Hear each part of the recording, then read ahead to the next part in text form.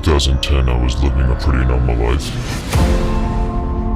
And then TLS entered my life through someone who I met.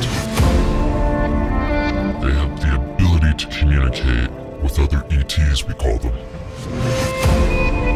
TLS is an organization that has been in existence now for thousands of years. They are humans, but they're, in my eyes, are superhumans. They have natural abilities to do things that me and you cannot even understand. Have you ever had personal experiences with physical extraterrestrial beings? Yes. They use them for work here because they have very supernatural abilities. They can actually create nuclear power from their hands. What did he look like? This small curled up dolphin. There are others. I would say about five, six.